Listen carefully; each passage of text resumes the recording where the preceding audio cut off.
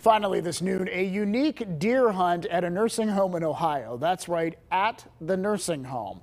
Check this out. Staff members at Continental Manor outside Cincinnati dressed up as deer, and then they hid behind Christmas trees while residents shot at them with Nerf guns. The care home posted this video online, and it has quickly gone viral. Those are some dedicated employees there, but they seem to have fun.